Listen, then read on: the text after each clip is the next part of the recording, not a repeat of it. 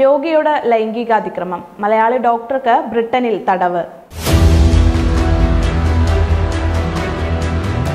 ചികിത്സയ്ക്കിടെ രോഗിയോട് ലൈംഗികാതിക്രമം കാട്ടിയ മലയാളി ഡോക്ടർ സൈമൺ എബ്രഹാമിന് ബ്രിട്ടീഷ് കോടതി പതിനെട്ട് മാസം ജയിൽ ശിക്ഷ വിധിച്ചു.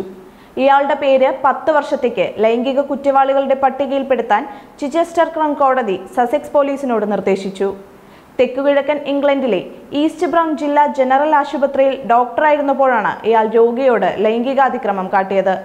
കടുത്ത തലവേദനയ്ക്ക് ചികിത്സ തേടിയെത്തിയ സ്ത്രീയാണ് അതിക്രമത്തിനിരയായത്.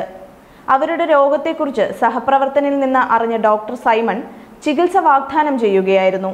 ഇന്ത്യയിൽ നിന്ന് രണ്ടു വർഷം തിരുമൽ പഠിച്ചിട്ടുണ്ടെന്നും വീട്ടിൽ ചികിത്സിക്കാമെന്നും ഇയാൾ വാഗ്ദാനം ചെയ്തു.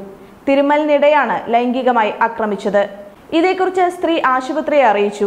ആശുപത്രി അധികൃതരാണ് പോലീസിൽ പരാതിപ്പെടാൻ നിർദ്ദേശിച്ചത്.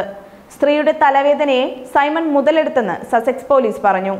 അറസ്റ്റിലായപ്പോൾ കുറ്റങ്ങളെല്ലാം സൈമൺ നിഷേധിക്കുകയായിരുന്നു. പിന്നീടുള്ള ചോദ്യം ചെയ്യലിലാണ് അവ സമ്മതിച്ചത്. സബ്സ്ക്രൈബ് ചെയ്തിട്ടില്ലാത്തവർ ഇപ്പോൾ തന്നെ സബ്സ്ക്രൈബ് ചെയ്യുക. നോട്ടിഫിക്കേഷൻ ലഭിക്കുവാൻ ബെൽ ബട്ടണും അമർത്തുക.